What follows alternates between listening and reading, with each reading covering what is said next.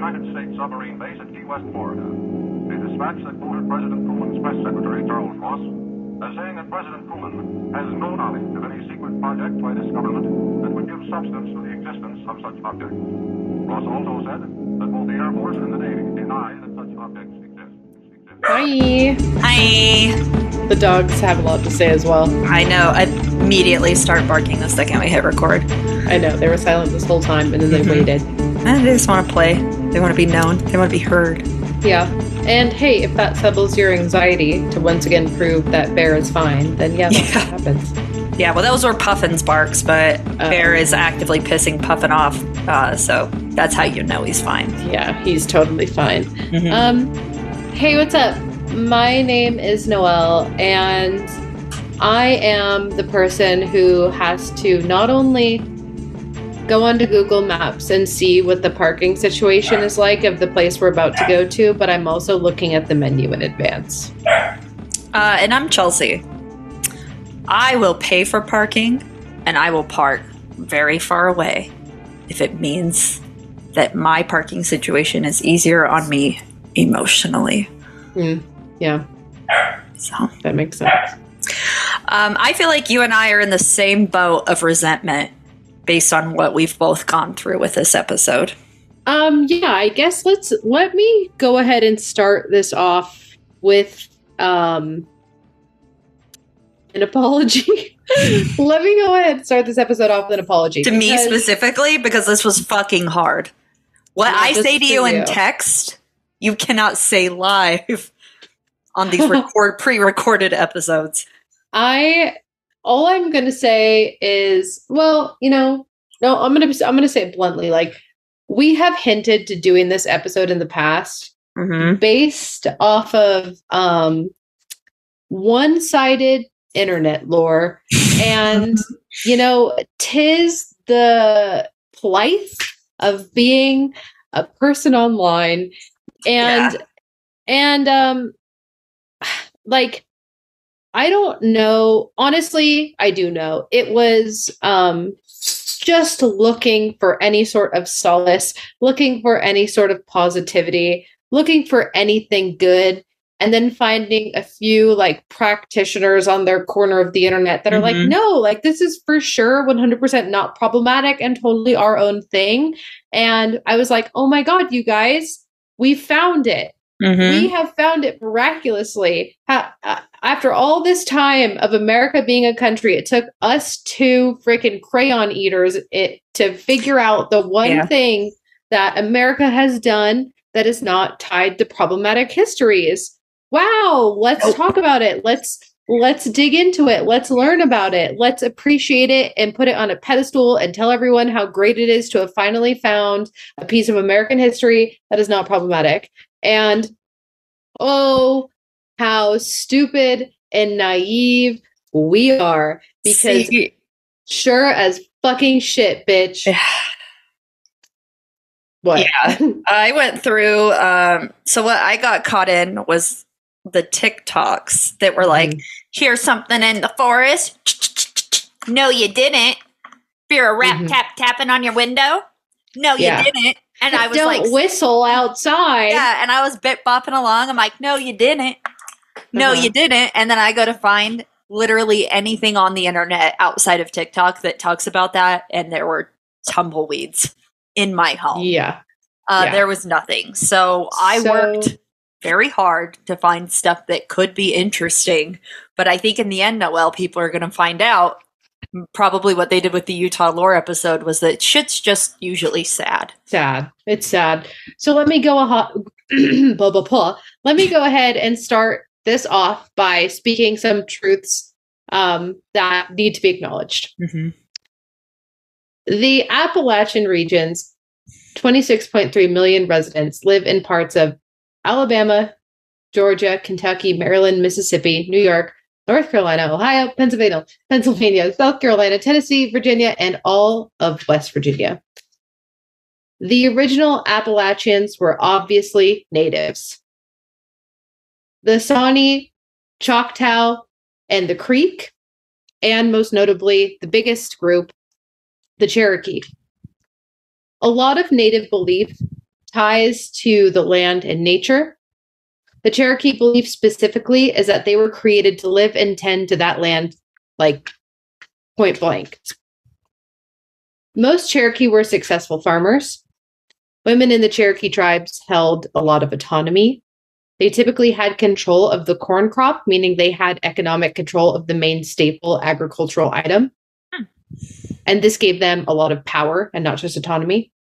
Older women held spots on councils. Men lived in the households of their wives. And a man's heirs were not his own children, but his sisters. Hell yeah.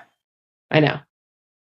Of course, this all began to change as European colonialists or colonizers came to the area. Another thing to note about Southern Indian tribes when they went to quote war, it wasn't as we see it. Europeans go to war to conquer, expand their kingdoms, or inflict their own religion or ideology upon those they're at war with. The tribes went to war to avenge the death of family, period. The Cherokee saw people as mainly relatives or enemies. But tradition would allow for outsiders to be taken into the tribes. Captives taken into battle would be adopted into clans, as well as slaves who had escaped into the Appalachian region. In the 1730s, colonials, col- colonizers, if you will, Mm-hmm. started coming to the South this time, and they were mainly Germans, English, Welsh, and the vast majority being those from the northern coast of Ireland, specifically the Scotch Irish, which is different than the Irish. Hmm, Let me point that out. Hmm. And this was mainly due to famine um, caused by the punishment and abuses of England. There are two trickle trains down thought- colonialism. yeah, trickle down colonialism gets you Mhm. every time. There are two trains of thought here. Number one, that they were unwelcomed by the New England settlers, which made them push into the West, and the West at that time just being the woods and mountains of the Appalachia. I've heard this before because they were Catholic. Yeah. Well, Protestant specifically with the um, Scotch Irish, the Irish were Catholic. So Mm, you're the fun thing about talking about this is like you have to kind of know Irish lore and like Ireland was an area that was um obviously affected by apartheid and um colonialism in itself and and Mhm. um colonization I mean and the the king of England put Scottish he he gave apartheid land to the Scottish people in Northern Ireland because he hated the Irish so much. He thought if I move like my most rowdy people, the Scottish, to this if I offer them land for free given by apartheid, which is taking from the people and redistributing Mhm. um, based off of uh, race, creed, etc. Um, this will be another like cap on um, the Irish. And so in Northern Ireland, um, I'm blanking on the name of the city. It begins with an A. All of these Scotch people came um, from this decree from the King of England, and some of them began to like um, assimilate, and they are referred to historically as Scot- Scotch Irish, um, and it's very different from um, Irish. Hmm. Um, the, the Scotch Irish they were mostly Protestant, not Catholics like the Irish were, because they were um, that. Yeah. So um, yeah. so anyway, um, so that that they were, but again, they would still be unwelcomed by the New England settlers. Or two, that Quakers had recruited the Scot Irish because they needed people who weren't afraid of war to fight the natives. Oh, Because uh, Quakers like weren't big, you know what I mean? You, you know, you know how like religions find loopholes. Um, right. and because this is true with the entire American story, if you couldn't put it together by the beginning of this, this land was occupied already by natives. Fighting went on for over 20 years. And there are two quotes I want to mention about this time. One is from a statesman named James Logan. In 1730, he writes, quote, the settlement of five families from Ireland, referencing Scotch Irish, give me more trouble than 50 of any other people. Or another one where he says, quote, the natives, I changed what he really said there, themselves are alarmed at the swarms of strangers, and we are afraid of a breach between them, for the Irish, Scotch Irish, are very rough to them. Yeah, I thinking that like the Scottish people are less uppity than the Irish people is very wild to me because I have heard myths of these peoples and they are all notoriously notoriously uppity, if you will. Like I wouldn't I- go to a I wouldn't be like, "Oh, I'm going to go to a Scottish bar and just be, observe while drinking water." That's not what I would assume, and I wouldn't assume the same out of an Irish bar. And I know that that's probably uh, stereotypical of me, but I Mm. can say that because I'm a Yeah. stereotypical person. Yeah.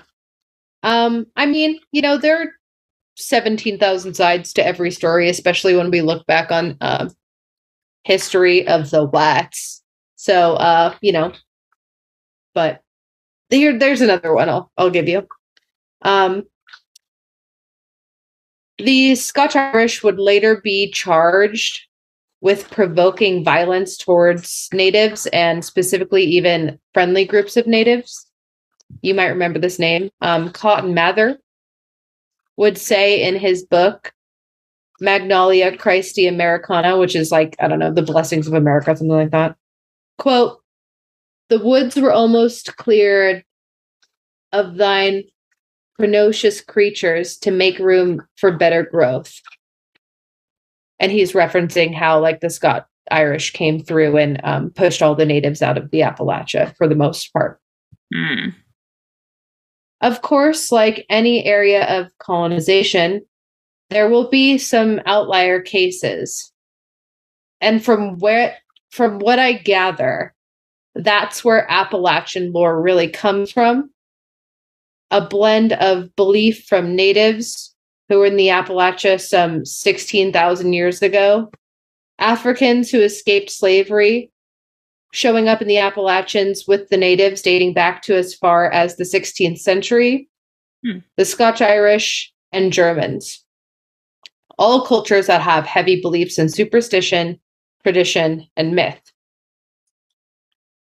And what we now see in current day is all 25, 26 million people of the Appalachia from all cultures being made vulnerable by the lack of infrastructure and support by the government Appalachians struggle with food scarcity, unemployment, lack of social services, lack of education, healthcare disparities, and massive exploitation by outside corporations.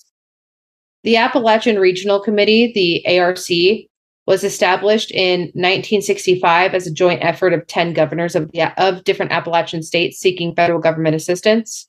Still, nearly 25% of the 420 counties in the region qualified as, quote, distressed, which is the ARC's lowest status of ranking. So we've just left them poor and forgotten Yeah, still in the modern age. Okay. yes. Since the colonization of America, the Appalachian region has seen itself move forcibly to change. But the one thing that has never changed is its lore, fear, and respect of the Smoky Mountains. Well, I'm glad that you laid down some of the uh, native background there because we are definitely going to get into it a little bit later in the episode. But for now, I'm going to go to the way, way, way back machine. Let's do it. So, sculpted patiently over an awe inspiring 480 million years ago, these rugged, stoic peaks stretching gracefully from Alabama all the way to Newfoundland stand as silent sentinels to epics gone by, recounting tales from the mist enshrouded Ordovician period. I probably said that so wrong. To It a time- sounded right. Ordovician, maybe? Hmm. A time so distant and unlike our own. When meandering through their tranquil valleys over ancient, enduring crests, every footstep resonates with echoes of bygone eras, as every rock and reel unfolds stories of primal seas and monumental geological shifts. But really, let's sprinkle a pinch of perspective on this antiquity, because even entities that we regard as ancient are mere fledglings compared to the actual Appalachian Mountains age. The Atlantic Ocean, for example, was formed 200 million years ago, while dinosaurs, they came around 230 million years ago. The hmm. Himalayas, 50 million years ago. Flowering plants and mammals, 125 to 66 million years ago, while human human civilization with our myriad of, of accomplishments, we're only about 10,000 years old. Even the most recent ice ages, with their sweeping and dramatic alterations of the Earth's surface, belong to the last 2.4 million years, as geological yesterday in the age old tale of the Appalachians. All those things are younger than this mountain range. Sharks are younger than this mountain range. Damn. Saturn's fucking rings are younger than the Appalachian Mountains. That doesn't even make any sense, dude. Isn't that so wild? That's crazy. So, when we are talking about this region, we're not just looking at mountains, but we're actually peering into pretty much an unfathomable amount of time. We are taking stories that essentially begin at the predecessor of eternity as far as Earth goes, and we're going to try to dissect them the best we can. So, in Oh, the shadowy world of witchcraft and mystery, the old wise Appalachian Mountains are seen as more than just hills and rock. They are wells of magical energy, holding the secrets and stories of countless lifetimes. Imagine walking in a place where you can almost feel the ghosts of the past whispering around you. A place where the spirits have seen such times and creatures we can only dream of. So, in the Appalachians, these places hide secrets, powerful places where big magic events have happened and become special spots for rituals and meditations. So, picture invisible lines of strong energy called ley lines mm-hmm. crossing through the land and making the mountains even more powerful and more magical. And the mountains themselves, being ancient, are often thought of as wise beings, where people might connect and learn the unknown magical secrets of our time. The lush greenery and different plants are also thought to hold their own magic, and, sp- and spells and potions of like Appalachian folklore tap into their power. And the idea of astral energy comes into play too, where such ancient spaces, after so many years and so much history, become linked together to other mysterious worlds, opening doors to different spiritual dimensions and making magic even stronger. The practice of ancestor magic, some of my favorite magic, and talking Mhm. and working with long gone spirits also finds like a really rich home in this area. And then, moreover, the mountains themselves have varied elements of like earth, water, fire, and air, which become the perfect stage for practicing magic related to these elements. And even though these ideas are more related to myths and beliefs rather than like more of the scientific fact we know and love, they do paint a lively, imaginative picture of how people might relate to and understand the rolling, ancient landscapes of places like the Appalachian Mountains. And with every whispered wind and rustling leaf, an ageless mystery lingers, ever inviting, ever elusive, in the fluctuating expanses of these ancient hills. So, whispers of weathered, weathered lore flutter through this area, and oftentimes that comes through in these bits of like old wives' tales and regurgitated stories throughout the area. I couldn't find anything that was like, if you hear a whisper, no, you didn't. But I I have a few off the top of my head that I thought were crazy. What ones did you hear? Um Oh my god, what was it? If it's raining and the sun's out, I I swear to God, the I'm saying devil is for beating her wife. his- His, wife. his wife. Yes. What the fuck is that, That's girl? bullshit. I heard that too. I didn't What even does put that it in the episode. mean? What does I that mean? That the You devil is that- beating his wife. No, I You didn't, put it in the that- fucking that episode. one stuck with me when she said that. I went, huh? What? It's a weird also, um, that dimples are like dimples on your face or on your like above your butt are uh yeah like you how you have one. Mhm. are from uh the devil's heel. Fuck, I really have to work on that dimple. Yeah. So You didn't even push it that hard in. also that you're supposed to like a baby's supposed to fall on their head before the year age of one. Oh, that happened to me. Yeah, I got one. I got one. good Yeah. I Um, distinctly remember my sister dropping me right smack dab on the top of my head. It was like a fucking Undertaker ending me, you know? I got Yeah. got explains. Yeah. well, apparently it should explain um like good health and good fortune. There I was also think it one. explains that. I know. I think it explains the opposite of that. Yeah, I know. It explains why the top of my head is as flat as a fucking plate. So. Yeah, it, it explains why I still have a soft spot on the back. of my That's why why my, the, the, the tectonic plates of my fucking skeleton never merged together. Yeah.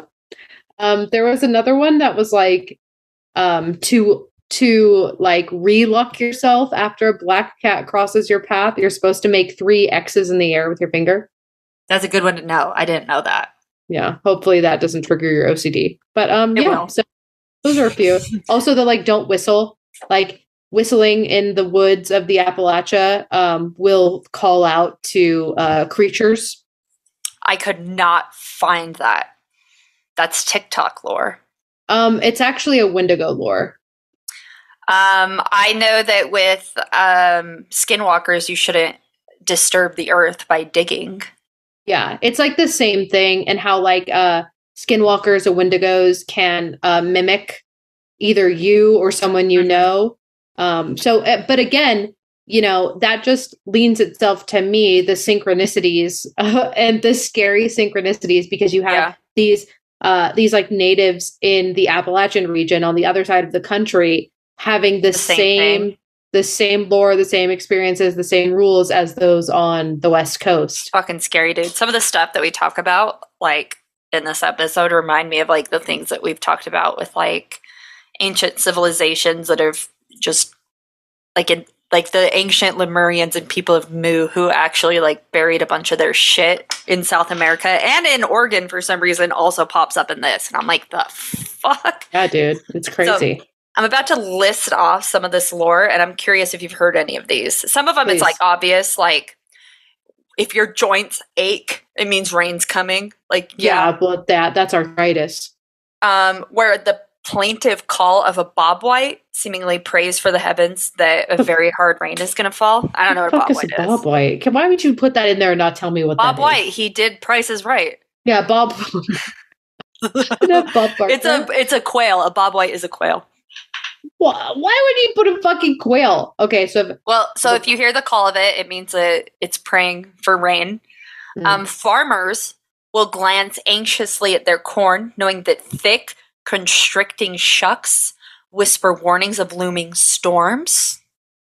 Or where a morbid ritual unfolds, that the slaying of a black snake and suspending it upon the fence with its belly open to the sun means that is like a good way for rain to come um, okay. if rain drops, pepper the earth on a Monday, expect them to dance upon the soil for at least two more days that week.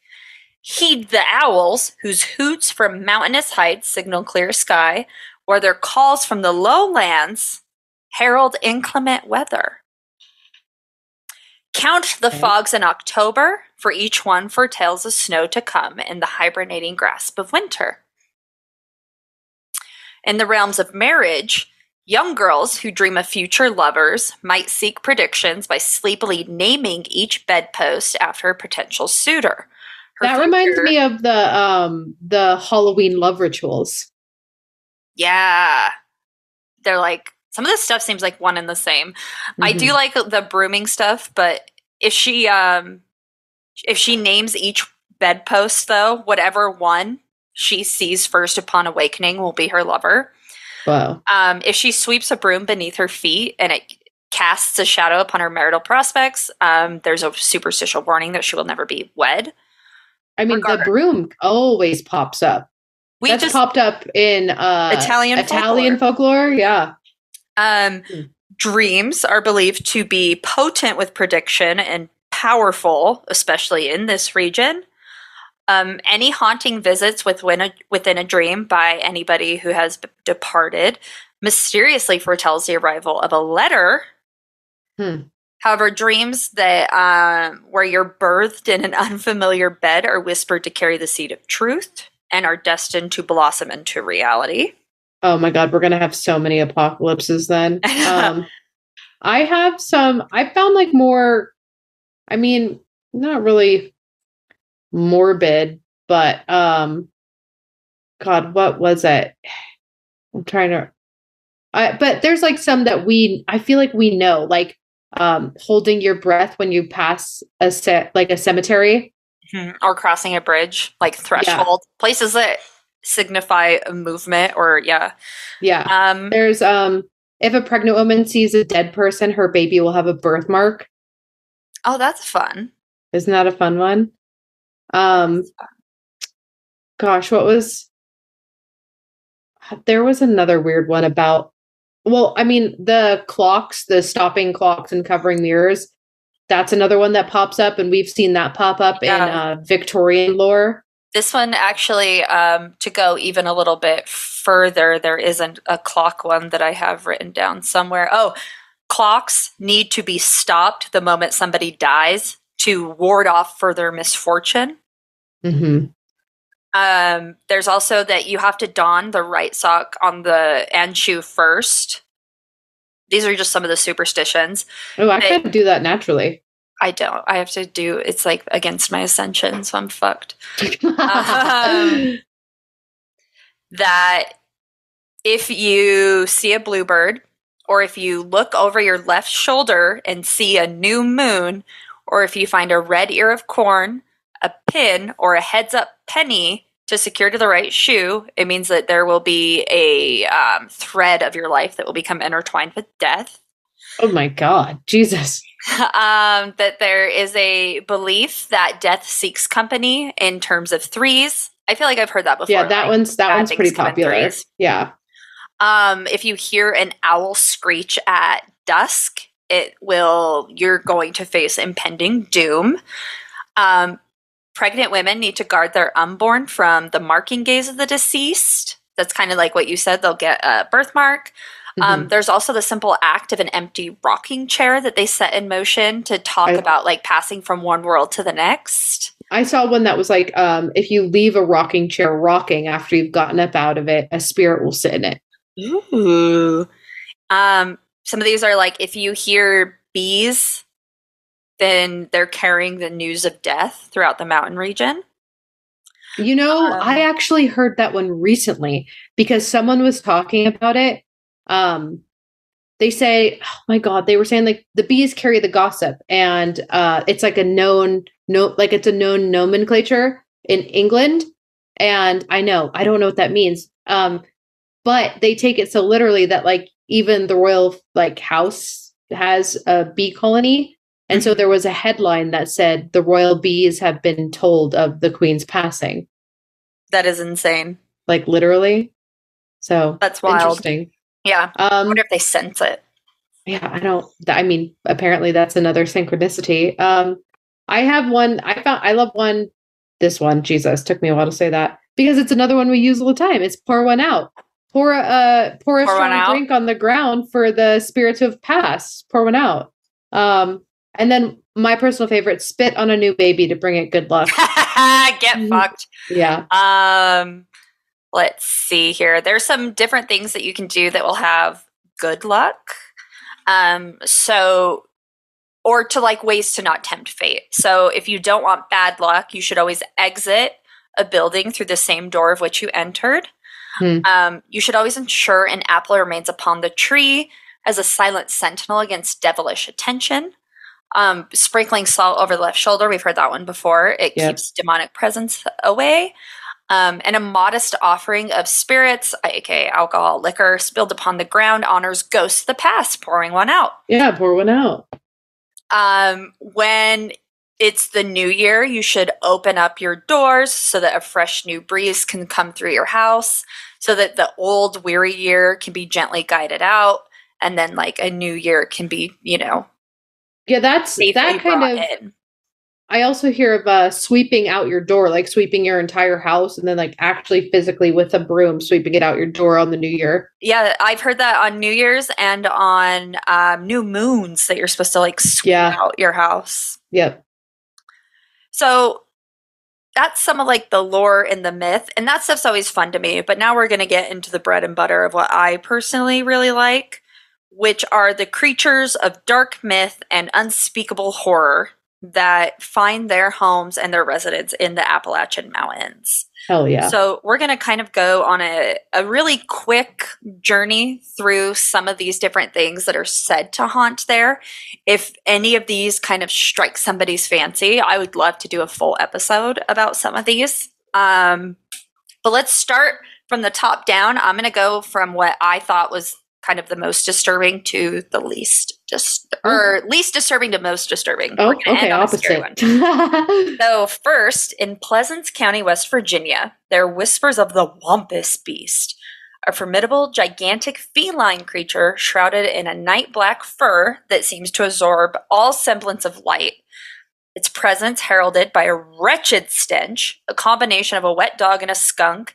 It is a nocturnal predator which overshadows male mountain lions fourfold and it instills a subtle, ever present unease amongst locals who dare to wander alone in the dark. Have you heard of the word Wumpus before? I feel like I've heard that before. Yeah, I feel like it's one of the houses in the American Harry Potter. Wha- What? Yeah, Wampus House. So there's the, you have Hogwarts, which is like the England School of Wizardry. And then you have uh, I, Ilvermorny, which is the American one, and Wampus is one of the fucking houses. Oh, that's where it must have come from. There's no other explanation. um, that's the only reason why I knew it, uh, because I think I got sorted into the Wampus house when it first came out, and I was devastated. Womp, it was womp, a fucking womp. cat house. I was so Yeah. bummed. Oh, God. Yeah, that is upsetting. Yeah, I was like, cats. Also, like the name Wumpus, it's so It's not very crusty. threatening. Yeah, Yeah. it's not threatening. Anyway. Um, the next one is the bipedal wolf man of Wolfe County, Kentucky. Its tales have been woven into the local narrative since the 1970s, and it haunts dreams with its seven foot stature and unusual fur, reminiscent of something that you would see between a bear and a gorilla. Oh, so not like a wolf at all. it's the well, that's just its that's just its fur. but it's an embodiment of primal fear, and its howls echo through the dark hollows of secluded caves, forever interwoven in the nightmares of those who have witnessed it. On a similar level, you also have the malevolent smoke wolf, which has eyes of flame with uh, that are red, and it casts an ominous shadow. And accounts of its reign of terror are reluctantly shared in hushed tones by those who have heard its gut gut wrenching howls and screams in the night and it reveals a propensity for killing not out of need, but for what people assume to be more of a sadistic pleasure. Yet it bears a curious dread of rattling chains and a small, um, which is kind of like, I don't know. That would be fun. That's like right, like it's like the night, opposite yeah. opposite Krampus. Whereas like Yes. Krampus is like, you know, jiggling chains. This one it's like you jiggle a Mhm. chain and he's like, Oh no, I won't eat you. Yes. And then the last one before we get to the big bad is the Grafton Monster, which is supposedly a headless bipedal behemoth. It has very broad shoulders, shrouded in a coat of fur. And witness accounts from the 1950s onward reveal an entity with like formidable weight of about a thousand pounds. And it haunts the vicinity and it has a massive form which stalks livestock in an unsettling and silent demeanor. Now, I kind of looped all those together because they're all similar enough. Like, with the exception of the Wampus cat, they're all Mhm. kind of, I mean, they're, they're all like furry animalistic. They're like entities. werewolves. Yeah. Yeah, it's like, oh, a bobcat, werewolf, things like that. And while those things are very fun to me, I wouldn't put them in a spooktober category of being particularly disturbing. I think that they're fun. I think that they belong more along the lines of like what Bigfoot is, which is something that's like more interesting to talk about and fun to discover. But I don't think that that's really what's haunting the region that would make it fucking Mhm. creepy. Yeah. Um, this one and I'm so glad. Remember, I said I was so glad you talked about Cherokee Legend because we're Mhm. getting into the most terrifying one of the whole kit and caboodle, which is called the Raven Mocker. It is the epitome of malevolence from Cherokee legend, and it casts an impenetrable shadow over southwest Virginia with black fur and hollow eyes, which shapeshift ominously against the unknowing. Silently, it feasts on human hearts, breaking the sacred bonds of trust within communities and leaves no trace of its horrifying intimacy. Transmitted through generations, the terrifying encounters with these spectral beings narrate a consistent tale. As an individual nears death, their spirit is seized by the raven mocker, and their heart is silently consumed. Bound by taboo, families stifle their fears and suspicions while they wait for adept medicine men to wage secret spiritual war against these entities, shielding the souls of the perishing from their frightful destiny. And the reason why it's so taboo is because one of the most taboo things that you can do to as a human is to fucking eat another human. Mm-hmm. And they want to avoid that kind of ickiness that comes in with a death because it's not a good death and for something to take over and essentially consume itself is akin to like a suicide right? Like very mm-hmm. big taboo type of things. So this raven mocker is thought to have descended from the cosmos when you have the combination of like the chilling cry of a raven with the visual semblance of a shooting star with this, you get an entity shrouded in ancient evil, which transcends this earthly plane and becomes a, sh- a spectral being, uh, being, ineffable even to the darkest entities of the supernatural realm. Realm. I'm fucking. Let me have a beer. Take a little sippy sip. Man, I can feel myself sobering up. The Also, that's not a beer. That's a Vizzy. Don't lie. It's a busy, you're right. So its life extends into an unnerving agelessness, perpetuating through the consumption of human hearts and casting an insidious shadow over trust within communities as it cloaks its malevolence beneath the guise of fragile, elderly humans. This is where you kind of get into people being like fucking scared. You get like the Salem witchcraft trial type stuff, right? Where everyone starts Yeah. getting accused and you just quite can't you can't quite tell. Um, so when you get to these ancient areas in the eastern United States, you may notice that doors are locked and the dying are vigilantly guarded. They are safeguarded against the unseen, insatiable dark entities that lurk just beyond our understanding, and their tales are whispered through generations as a spectral warning echoing through the Appalachian shadows. And what's wild is that even though we have this extensive list of cryptids that are probably in the area, we still have like a ton of other encounters that cannot be explained. So these are things where some of these cryptid looking things pop up, but they don't quite fit into this category of like the cryptids or um we're usually we're good about not calling um things that come from like Native American lore cryptids. Like this is Mhm. a raven mocker. It is completely different and distinct from what a cryptid is. This is like a actual spiritual being that exists within the culture. Yeah. So the first one that we're going to come on across is the Dudley Town Village Cursed with Madness story. So Dudley Town, forever scarred by Edmund Dudley's dark history, became known as the Village of the Damned. Tales tell of terrific um, and horrific happenings and of, blah, blah, blah, of residents actually being tortured by unseen forces. They lost their sanity, and that would usually end with them taking their own lives. Shadows even now creep along the ancient ruins, and phantom lights flicker through the eerie, forsaken landscape. It is said that the curse still pervades, binding restless spirits with this unhallowed ground. Next, we have apparitions. Has anyone come out and said like that the madness was from some like what do they say? the Wasn't there water was bad, or Yeah, like the like water there was was like bad, or, lead in the paint.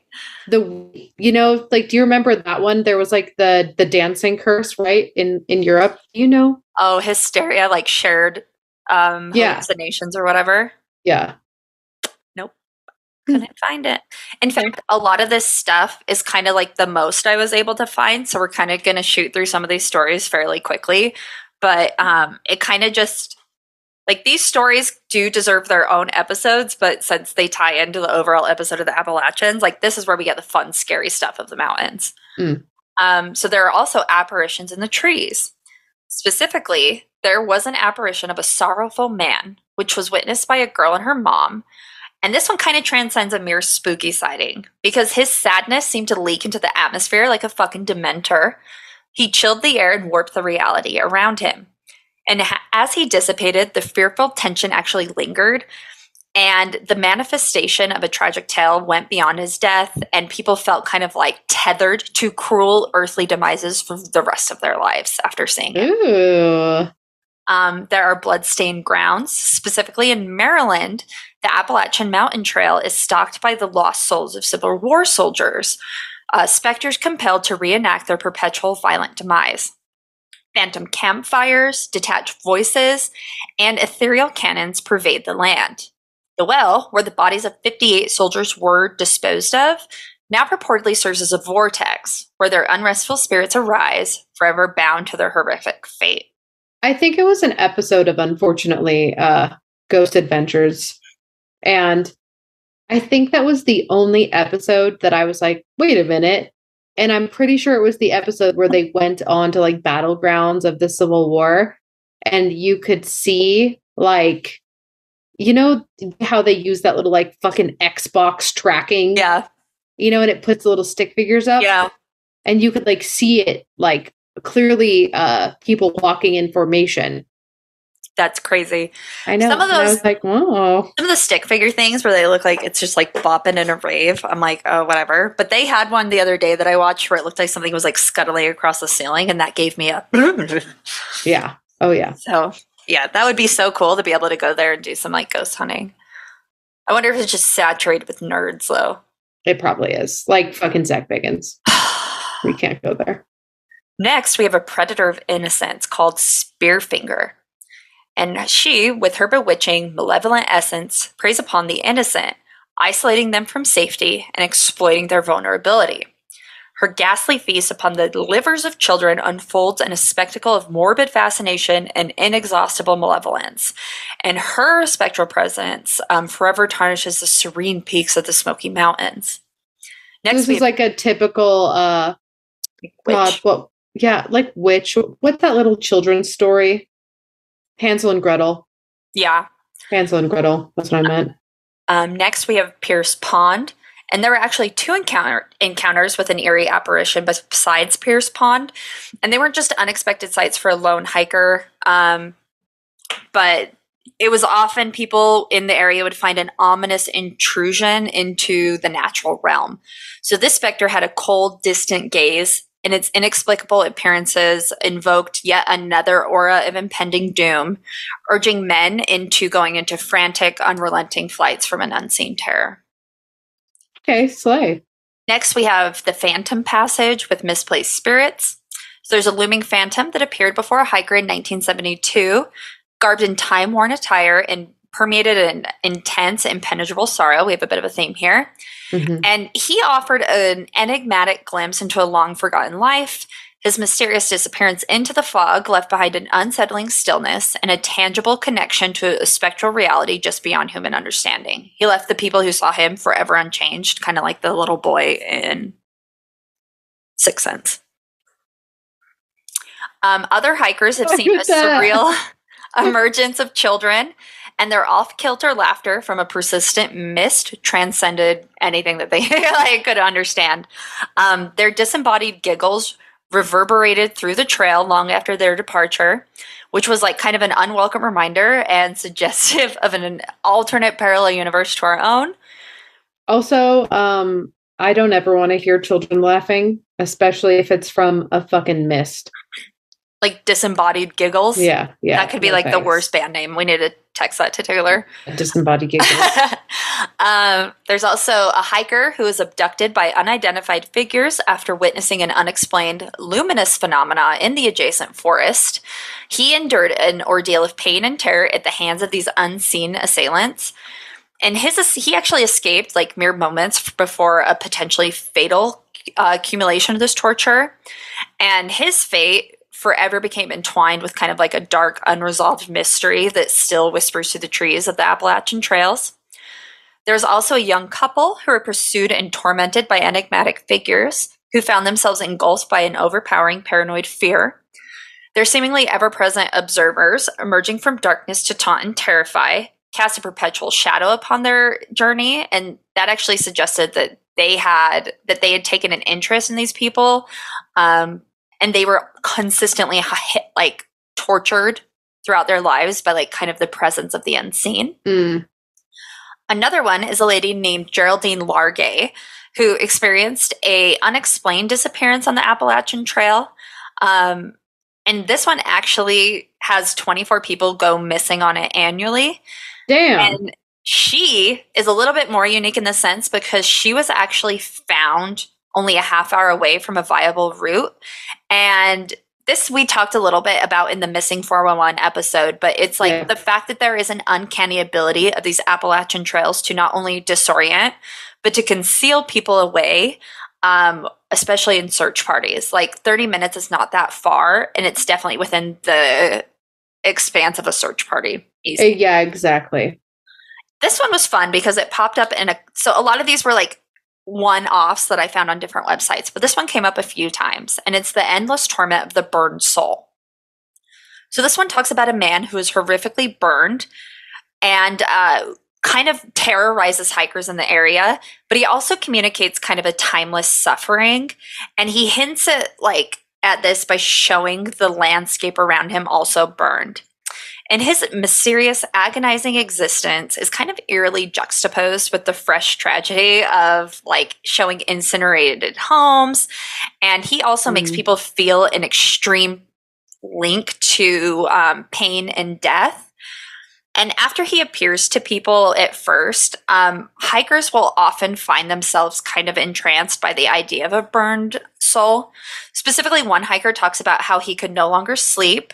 Um, and when he did sleep, he had nightmares of fire, destruction, and an internal echo of tormented wails.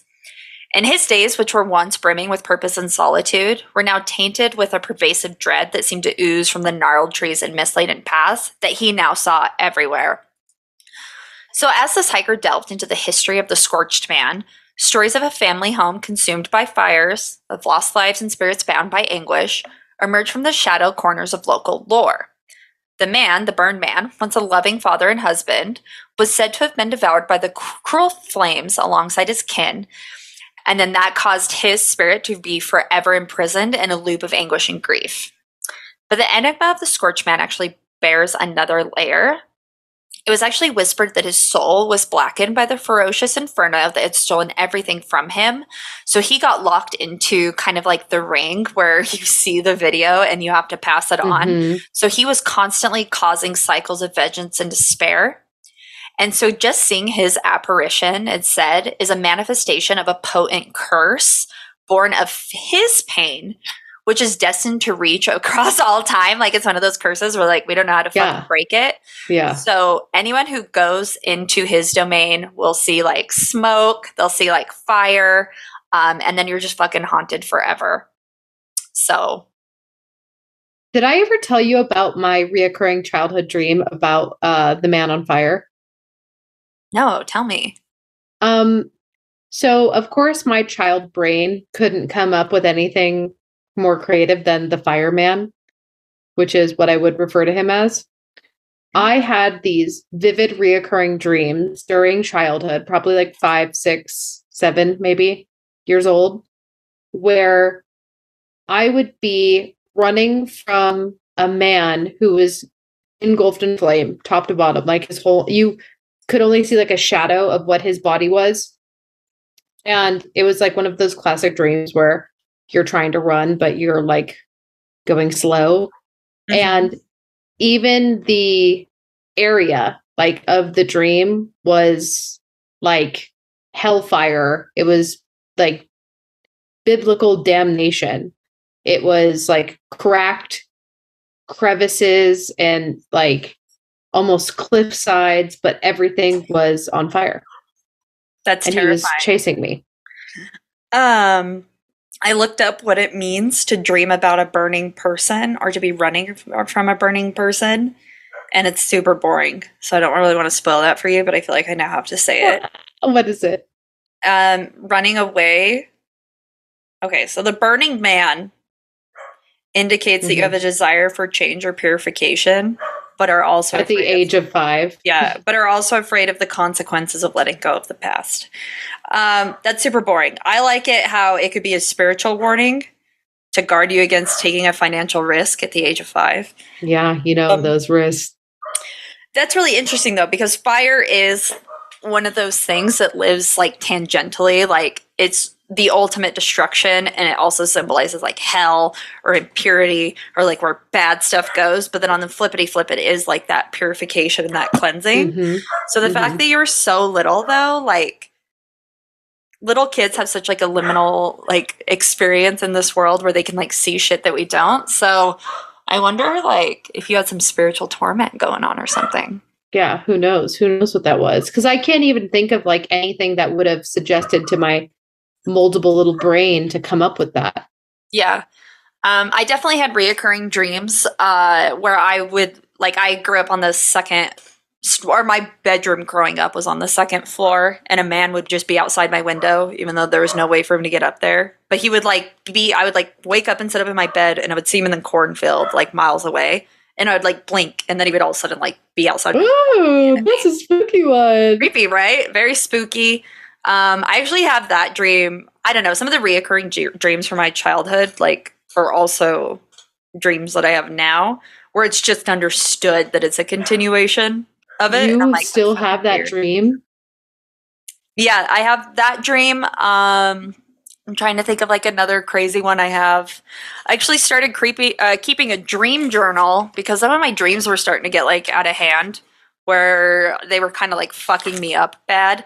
Because most of my dreams are terrible, um, but the ones that are fun are fun.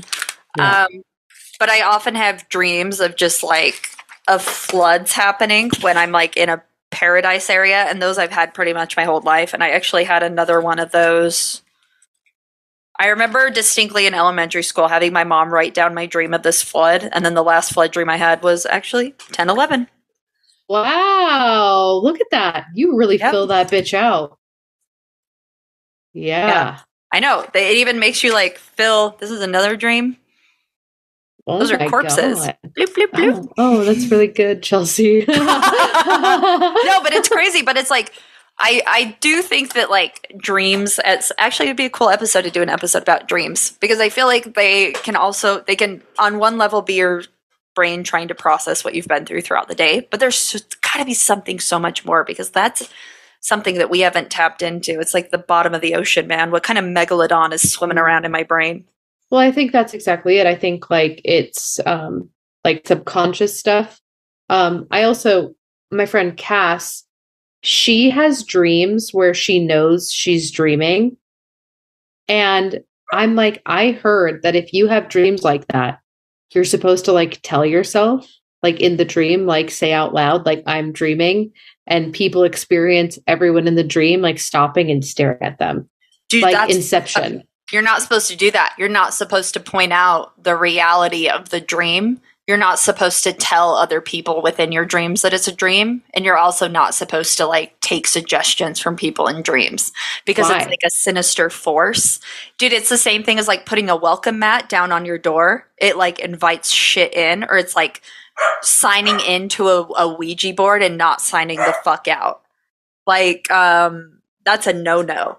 Like you can Hmm. subconsciously be like, "Oh, I'm in a dream and I am going to start flying around my room or whatever," but to interact with like other entities in the dream is a no-no because those exist somewhere that we don't want to give them an open door of interacting with us because it could make you into a gateway. Well, let's find out, you know. Um, I will say that probably the shittiest, scariest dreams I had growing up that came to fruition, and now I'm terrified of my dreams, was I would dream that my mom and my sister Jess would die all the time. That's fucking terrible. I know. So now if I like dream that somebody dies, I'm like, Yeah, you're Try to, like, crazy. it triggers my OCD so bad because I try to like snap the fuck out of that so that they don't come true, which is also Mhm. an idea of OCD where you think that you can have powers and Yeah, you, you can think- only do your rituals to prevent them. God, like- that medication needs to be upgraded. I know. Um, Listen to it. I Not working. oh my god, yeah, that's the sound of a lot of money down the Uh-huh. drain, not working. Um, Yeah. You want to know dreams that I have all the time since we're now talking about dreams. Yeah. Um, I my worst nightmares lately, and this this is so fucking pathetic because I've had nightmares even recently about like the apocalypse and the end of the world. And I feel like I told you about my super vivid UFO um Yeah. like attack dream. The ones that make me wake up with heart pounding anxiety, feeling upset are just dreams where my partner is ignoring me. Like, Chelsy, I will wake up fucking raging with anger because I had just woken up from a dream where I was like, hey, are we still going to this? Red. Hey, just want to see if we're going to this? Red. Hey, it's been three hours. Red. I will wake up and be like, what? Yeah. I, I can like relate that with that. Is, that's my worst dream. So some of my worst dreams, and these happen all the time, is I will dream that will Oliver he will break up with me in my dream and then I mm-hmm. have to re-download dating apps. but they've changed so much oh that they're just so massively inconvenient. Mm-hmm. And I'm like in the app trying to like fucking meet up with people. But yeah. like the app is outside of the semblance of any understanding that this old crusty lizard brain can understand. But the dread, you've fucking felt it. And I know yeah. other people have felt it out there where you like put the bottle down and mm-hmm. you're like, fuck, I have yeah. to re download Tinder because mm-hmm. this piece of shit wasted my fucking time. Yep, that's the T girl. Yep. That's the fucking T girl. Yep. So uh I yeah, I I have the dream of being ignored or like um him being rude to me in public. Um oh, or dismissing. worst. Oh, it drives me fucking crazy. oh, I I will and like I will wake up at fucking three in the morning because I'll I'll literally have dreams of being kidnapped and running for my life in a torture house, and I'm like yeah, through the dream. Fine. The dream where Ty is ignoring me in public, my body's rage will wake me out of a dead slumber, like yeah. like fucking Undertaker. I wake yeah. up like, and I just yeah. grab my phone. I grab my phone and I'm like, like the yeah, like, typing out the world's longest like paragraph to him, like, oh, guess what I just fucking dreamed yeah, about. it's yeah, it's not my problem. It becomes your problem the second yeah. I wake up. Um, yeah, it's an issue. Like all I, I, have dreams sometimes where I go to Lagoon and I'm naked and I have to win a stuffed animal to form an outfit. Not that bad. Oliver will be like, "Hey," he'll like shrug shrug me off of him in a dream, and I am devastated for days. I'm fucking, I am fucked up. And I'll be like, I'll text him, I'm like, you were mean to me in my dream last night. And he's like, he's like, oh, why would you dream that? I love you. And I'm like, you no. son of a bitch. Like, this is your Literally. problem. You fix it. I could probably search on my phone right now. You were mean to me in my dream, and it would probably come up like a hundred fucking yeah. times. The the brushing you off, like off, like you literally yeah. go to grab them. Like, I have off. had that yeah. in my fucking dreams so many times. I lose it. I'm so glad I don't have like one of the little heart rate monitor watches like you have because the the beeping noise would probably wake me up oh, yeah. before my body's natural anger wakes me up. Oh, and like I'll I'll send him a message on Instagram because I know he doesn't have Instagram notifications turned on, but he has I like messages, like text messages.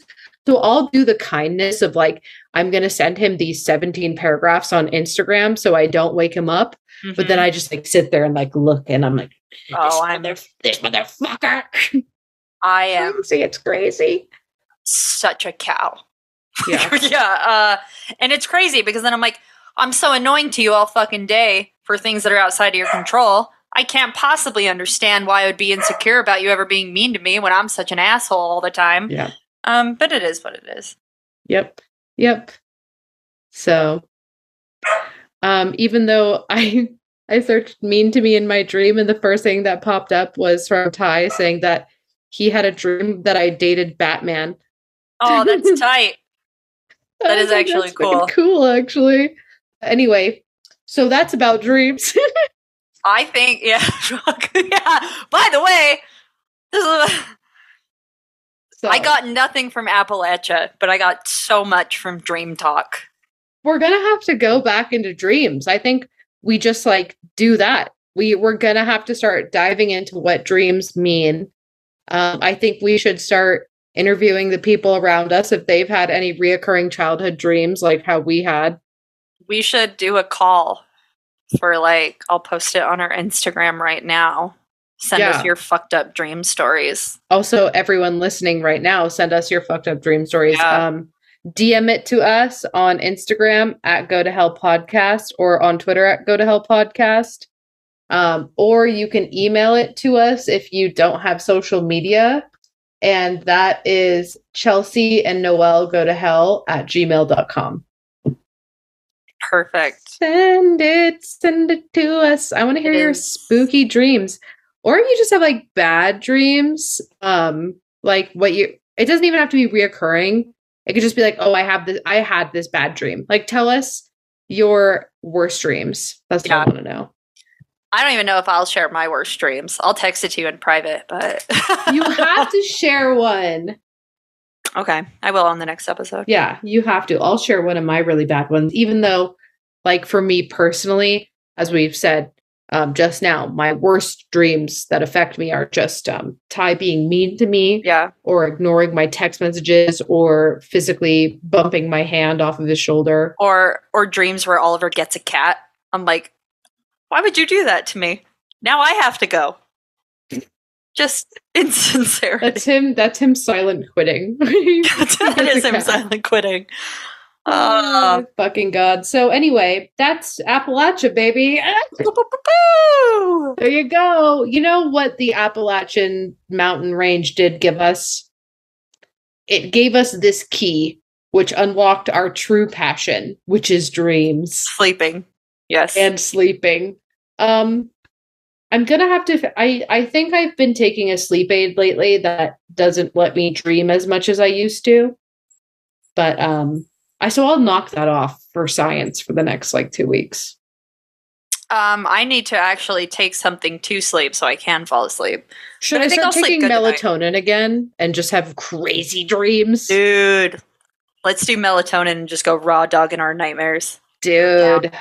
God, isn't that doesn't that suck? That's the universal experience of melatonin. For me, it doesn't even help me sleep. It just makes me have fucking night Yeah. terrors. All right, I'll It start taking just- melatonin tonight. Okay, let's do it. I'll I'll take some. Actually, I'm scared to take it tonight. Let me take it when I'm not at home alone. Yeah, I feel you.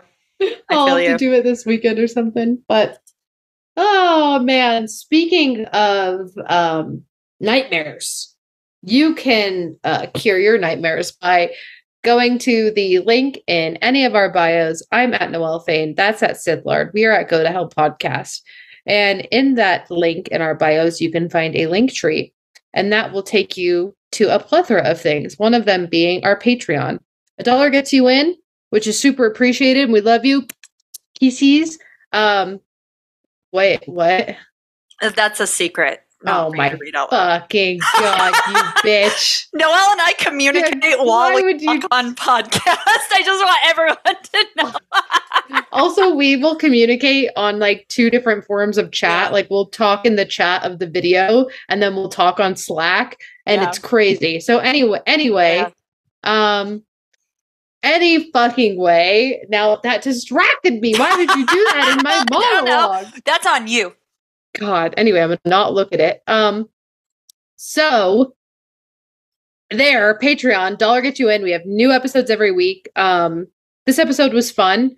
Um, we gave some recommendations for you to watch. Um, take a listen. A dollar gets you in. We also have all of our panels uploaded on there for free. Yeah. In that, if you remember what I mentioned before, that link tree in our bios, you can also find a link to Kelly Holloran or at Wildwood Owl on Etsy. She makes cool shit for us and she makes cool shit in general. We also have a link to our merch, which Chelsy is pumping merch out like it's fucking going out of style.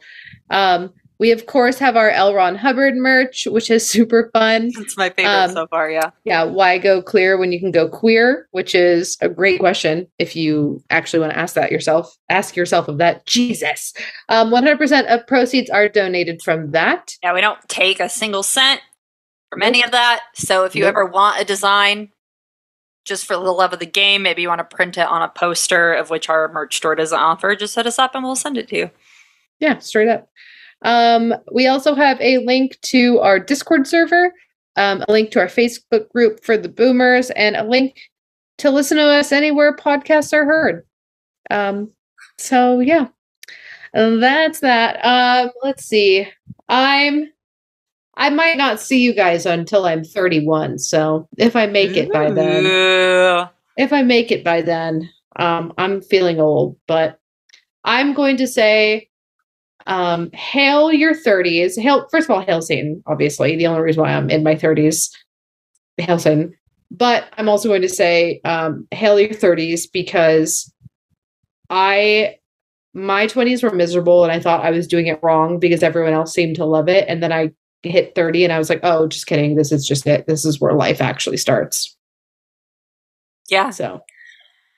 Uh, hail your 30s. Hail this tasty OCD medicine that's doing nothing. Except if I don't take it, I get the brain zaps. So thank you, psychiatry.